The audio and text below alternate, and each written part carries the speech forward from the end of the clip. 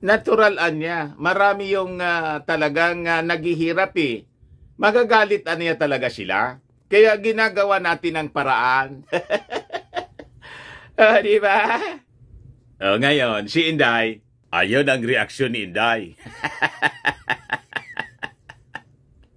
ah, di? Pikon na pikon po. Sabi dito, Vice President Education Secretary Sara Duterte unleashed a sharp rebuke of critics of confidential funds, saying those attacking such resources are against peace and are deemed the enemies of the nation. So yung uh, buong Congress, yung buong Congress na enemies of the nation na in effect kung uh, susundan natin ang uh, logic. ang uh, ang logic mga kababayan ni ni Inday. Kasi yung nagtanggal po, yung uh, kongreso.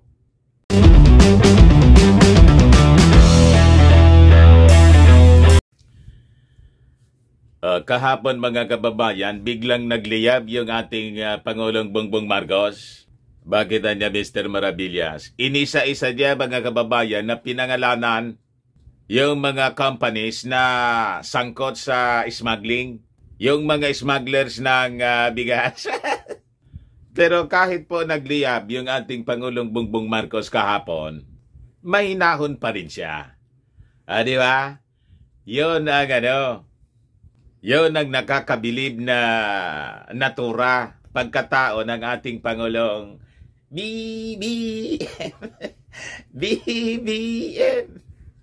Ayan po, mga kababayan, yung ating Pangulong Bongbong Marcos. Uh, sabi niyan, Marcos names for rice smugglers. Ayan po, mga kababayan, mamaya iparinig ko sa inyo yung uh, sinabi ng ating Pangulong Bongbong Marcos. Inuubos nyo kasi yung pasensya ng ating uh, Pangulo. But uh, before ko mga kababayan ibigay sa inyo yung uh, full story, click subscribe muna dito sa ating YouTube channel and hit the notification bell para lagi po kayong updated sa mga kaganapan dito sa ating uh, bansa. Like and share na rin po ninyo ng ating video at huwag na rin po ninyo mga kababayan na skip yung ating mga commercial ads para tuloy-tuloy ang pagunlad ng bagong Pilipinas the land of Ophir. Ayan po mga kababayan ng balita sa Manila Times. Marcos names four rice smugglers. So sabi rito po, President Ferdinand Marcos Jr. bear the identities of four rice importers charged with agricultural smuggling, saying the government's anti-smuggling campaign would spare no one wala niya kaming sasantuhin. Uh, sabi ng ating Pangulong Bongbong, bumangis po yung ating Pangulo. Uh, pinikon kasi ninyo. Uh, sa kanyang talumpati mga kababayan doon sa Taguig City, distribution ng uh, 1,000 uh, bags uh, ng uh, bigas, sabi po ng ating uh, Pangulong Bongbong Marcos. San Pedro Warehouse, Blue Sakura Agri Grain Corporation, FS, Ostia Rice Mill, and the Gold Rice Mill were charged with violating the Customs Modernization and Tariff Act, the Rice Tarification Law, and Anti-Agricultural Smuggling Act of 2016. Kinasuwa na anya namin itong mga sangkot sa rice smuggling dito sa ating bansa. We cannot allow anya these opportunists to ruin our livelihoods and the agriculture sector to reign. I am warning those uh, sabotage who sabotage our economy. You smugglers, hoarders, and syndicates to stop your nefarious activities sabi ng ating Pangulong Bongbong Marcos, sabi ko sa inyo, bumangis kahit uh, gaano kabait ng isang tao. Pag uh, inubos ninyo yung uh, pasensya, talagang magliliyab po. Di ba? Pero siyempre, enjoy yung ating Pangulong Bongbong Marcos sa pag-distribute ng uh, sako-sakong bigas sa mga mahihirap nating mga mamamayan.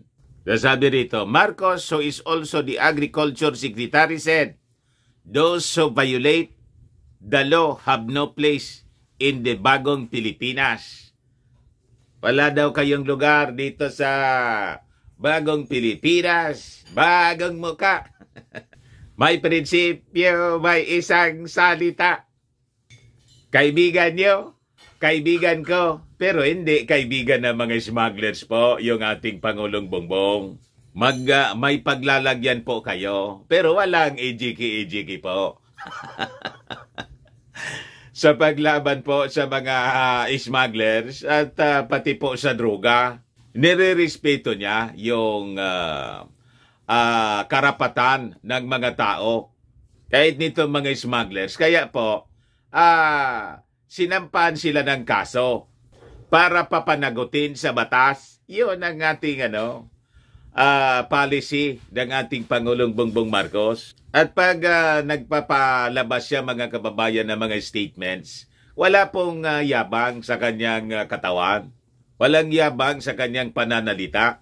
Kaya sabi ng ating Pangulong Bongbong Marcos, We are now in the bagong Pilipinas. We will quash those who are not playing fairly. There is no place in society for those who take advantage and oppress others. Dagdag ng ating Pangulong Bongbong Marcos. Ngayon, kahapon, uh, in-announce na rin ng ating Pangulong Bongbong Marcos, mga kababayan, yung pagtanggal na sa price cap on rice kasi nag-stabilize na rin po yung uh, presyo ng ating uh, bigas. Sabi niya, I think anya it's the appropriate time since we have been distributing rice. Yes, as of today, we are lifting the price caps on rice, boss, for the regular milled rice and for the well-milled rice. So we remove all the control. But it does not mean we will leave it uh, at that because we will still need to fix the agriculture agricultural sector. He added, noting the government will continue providing rice subsidies to vulnerable, vulnerable communities. Tuloy-tuloy lang anya yung pamimigay natin ng tulong So sabi ng ating Pangulong Bongbong, ang ating uh, pamahalaan kailangan niya na humanap ng uh, permanent solution to the volatile price uh, ng bigas dito sa ating bansa. So yung permanent solution, mga kababayan, dito sa increase in price of commodities, siyempre, we have to increase the production.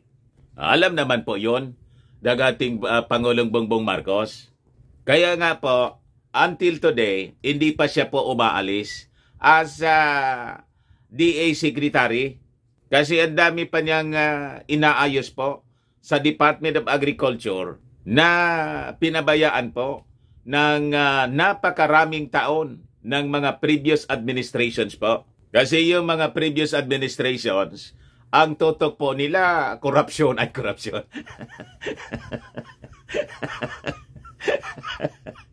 Kasama na. politika. Sige lang nila ang politika. Yung uh, mga personal na interest lang po nila. Hindi man po nila inayos yung kabuhayan ng ating mga mamamayang Filipino. Ang inayos nila, yung sarili nila. What? Di ba? Eh, hindi na kayo makakaulit. Eh, sabi ng ating Pangulong Bongbong, when we were looking at the statistics yesterday, the real problem is here in the capital region, Anya, where the price of rice is high. But that's natural because we are in the city, Anya. It takes a long time for rice to arrive here and the transportation, storage, and processing fees become expensive. The price is rising here in uh, NCR because of that. may ano siya, may uh, ma malinaw siyang pagkaintindi mga kababayan uh, kung bakit yung yung presyo ng bigas uh, sa National Capital Region ay ganon kataas. Kaya sabi niya, the government niya will continue to watch very closely, uh, very closely those who remain to be affected by the spike in the prices of rice, including local farmers. So, so that that is another measure that we are undertaking. Other than mga kababayan itong paglaban sa mga smugglers, hoarders, and price manipulators na kanya na pong pinangalanan. Yung style niya mga kababayan ng paglaban sa mga smugglers, kakaiba. After na makumpis ka po, ayon, pinamumudmud niya sa mga uh, mamamayan.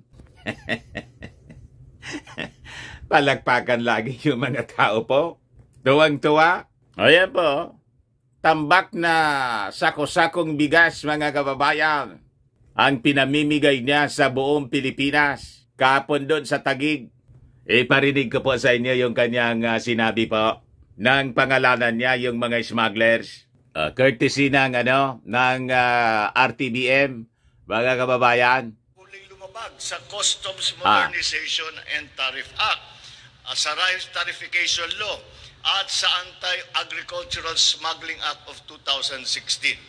Kaya po, ito na, eh ngayon ay kinasuhan na natin ang San Pedro Warehouse, ang Blue Sakura Agri-Grain Corporation, ang FS Ostia Rice Mill, ang Gold Rush Rice Mill ay kasalukuyang haharap sa patong-patong ng mga kaso dahil sa kanilang mga ginagawa. Ayun, mga kababayan bagong Pilipinas na po tayo ngayon at atin pong susugpuin ang mga hindi pong luma, hindi po lumalaban ng, pat, ng patas. Wala pong puwang sa lipunan ang mga nanlamang at nang aapi sa kapwa. Po, mga ordinaryong mamamayan, tuloy-tuloy lamang po ang pagtutulungan natin. Bumangis po yung ating ano? Pangulong Bongbong Marcos, patong-patungan niya, nagkaso ang kanilang kakaharapin. Ganun po. So, so sumisingasing na po yung uh, tigre ng norte. eh talagang nakakapiko naman po talaga mga kababayan. Kasi sabi ng ating Pangulong Bongbong Marcos, wala man talaga po na no, na shortage. Hinuhord lang mga kababayan nitong mga mga ganid na mga negosyante dito sa ating bansa. Kaya yung buong ano, birokrasya ng ating gobyerno ay talagang minobilize ng ating Pangulong Bongbong Marcos para labanan po ang ganitong mga masasamang gawain. Kaya ayan tuloy mga kababayan, tuloy-tuloy ang pamimigay ng sako-sakong bigas ng ating Pangulong Bongbong Marcos. O, di ba? Masaya yung mga mamamayang Filipino. Kahit yung hindi niya mga kapartido, yung hindi sumuport sa kanya nung eleksyon, yung tagig po ay dilawan country. Lugar ni Senator Alan Peter Cayetano, pero yung asawa niya, si Mayor Cayetano, mga kababayan, uh, kasama sa, siyempre, Ah, tingnan ninyo. Tawang-tawa na si Senate uh, si Mayor Cayetano, Lani Cayetano. Ah. 'Di ba? Nakakatuwa yung ginagawa ng ating Pangulong Bongbong Marcos. Hindi siya nangungulay mga kababayan sa politika. At siya mismo ang uh, bumubuhat sa sako-sakong bigas. Ah, you see? Baga kababayan? Ah, pampalakas pa ng braso. Na-exercise pa mga kababayan yung ating Pangulong BBM. Dahil sa napakaraming mga smuggled rice, 40,000 po yon, 42,000, uh, 42,000 sacks ng uh, bigas. Yung galing pa lang yun sa Zamboanga, inaayos pa yung galing Bulacan. Yung uh, Bulacan, 200,000. uh, sacks of rice. Sa pag, pag napatunayan yon mga kababayan na walang mga walang mga documents, ipamomod-mod yon sa buong Pilipinas. Uh, di ba jackpot yung mga uh, mamamayang Filipino? Uh, ngayon, nagpaabot na rin po ng reaction yung ating Pangulong Bongbong Marcos doon sa paglubog uh, ng kanyang ratings po.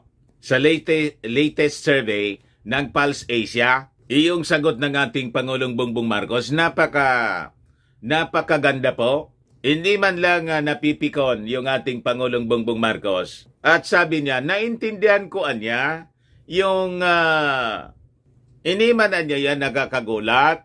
Kasi yung mga tao talagang naghihirap. Ganon, mga kababayan kong mag-react yung ating Pangulong Bongbong Marcos. Hindi siya pikon. Malayo kay Inday po. Kontras yung dalawa po. Si Inday po galit kasi natanggal yung kanyang ano. Milyon-milyon na confidential funds. Pero yung ating Pangulong Bongbong Marcos, hindi po napipikon kahit bumagsak, lumubog yung kanyang uh, ratings. Ah, ito si Inday. Sara Duterte blast critics of confidential funds. Ayan po. Kung sino ang kumukontra sa kapayapaan ay kalaban ng bayan. What? Yan po si Inday. pikon na pikon ka mga kababayan kasi tinanggal yung uh, confidential fund ng Office of the Vice President pati ng uh, DepEd pero yung ating Pangulong Bongbong Marcos, mga kababayan, nang uh, tanungin ng mga reporters tungkol sa pagbagsak ng uh, ratings, ito po yung kanyang sagot. Uh, ito ba, eh, iparinig ko po sa inyo, mga kababayan, yung interview sa kanya. Good morning, sir. Can we ah. get a reaction to the recent Pulse Asia survey that shows your lowered approval rate? ratings? Thank you. It's not surprising. People are having a hard time. Eh, yung bigas, eh, yung hirap na yung bigas ito eh. Ibang usapan pag bigas. It's different from anything else that, that any other agricultural product. I completely understand it. And that's why we're working very, very hard to make sure that this comes up again. Not because of the survey. That's not important to me. What's important to me is that we make sure that people have enough to eat and that it is affordable to them. Uh, and kaya uh, hindi mo hindi mo masisi ang tao. Talagang naghihirap sila eh. So we, we that's why we are doing all of these things. Uh, that's why we're doing all of the things to try and maintain uh, the, the, the, the, prices at the level that is uh, affordable to our people. Yun lang naman talagang kailangan gawin. And I think we're going to, we, I think we are slowly heading there dahil ang supply natin napakaganda uh, distribution siguro, mer meron na tayong ginagawa doon sa pasto para sa cost ng uh, pag-deliver ng bigas, lalo na sa mga malalayo. NCR is included there. Meron tayong project dito sa NCR. May program tayo dito sa NCR. Um, so, that's, uh, that's perfectly natural. Uh, uh, that, that I, I, it was not, it's not a surprise, put it that way. Yan, mga kababayan. Excellent, brilliant answer, mga kababayan ng ating Pangulo. Hindi po siya pikon. Naintindihan ko anya ang uh, mga tao. Natural anya. Marami yung uh, talagang uh, naghihirap eh. Magagalit anya talaga sila. Kaya ginagawa natin ang paraan. oh, di ba? Oh, ngayon, si Inday, ayun ang reaksyon ni Inday.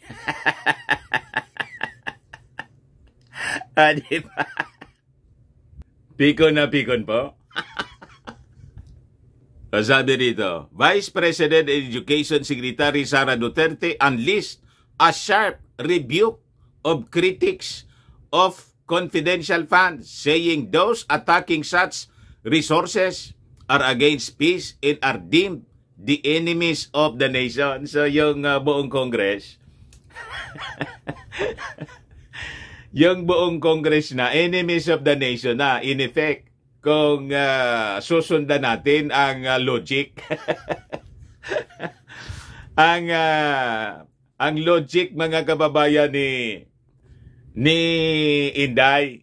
Kasi yung nagtanggal po, yung uh, kongreso. And in fact, yung mga dati niyang mga kasama, dati niyang mga kapartido sa uh, Lakas CMD. Kumbaga, yung mga makabayan na sinasabi niyang uh, enemies of the nation, minority naman po yon. Kahit yung mga ano, uh, makabayan black magtalak ng magtalak, mga kababayan, uh, hindi man po uobra kung sila-sila lang. Because they do not have the numbers. Uh, eh yung nagtanggal po, mga kababayan ng confidential funds ni Inday, yung majority na ng uh, Kongreso. Di ba? Yung Committee on Appropriations. Kasi na-realize po, mga kababayan, ng uh, tama naman yung punto ng mga nasa Makabayan Block na hindi man kailangan ni Inda yon. Ang may pangangailangan mga kababayan talaga, yung ating mga security agencies, the National Defense, yung Philippine Coast Guard, uh, yung ating military, the guardians of the West Philippine Sea. Sabi nga, tapos sabi niya noon na uh, I will leave it anya to the Congress to decide yung aking uh, yung uh, confidential funds. Eh kung gano'n naman pala na you will ano, you will leave it to the Congress to decide, inagdesisyon yung Kongreso, bakit ka nagagalit? Di ba? Akala ba namin okay lang sa'yo? Hindi pala okay. Uh, sabi dito ni Inday mga kababayan, makinig kayo sa lahat ng sinasabi sa palibot ninyo at tandaan ninyo kung sino, sino man kumukontra sa confidential funds ay kumukontra sa kapayapaan. Kung sino ang kumukontra sa kapayapaan ay kalaban ng bayan. Madaling sabi mga kababayan, si Estela Kimbo, yung ano, yung dating sumusuporta sa confidential funds niya at biglang bumaliktad. Kalaban na ngayon ng bayan. Yung mga members ng uh, Congress, mga kababayan na pumirma para tanggalin po yung mga iba-ibang partido, para tanggalin na yung confidential funds niya, mga kalaban na ngayon ng bayan. so sabi rito, she warned that those who seek to compromise the security and development of the nation jeopardize the very fabric of our society and hinder our progress. Anong jeopardize the security? Na yung confidential funds nga po ninyo ay uh, ililipat doon sa mga guardians ng ating security, yung mga security agencies. Di ba? So sabi niya, we must remain vigilant in this steadfast in our commitment na niya to safeguarding our people in our nation. Yun na nga po yung purpose kung bakit tinanggal sa iyo yon para ibigay sa Philippine Coast Guard. the guardian of our uh, maritime ano domain.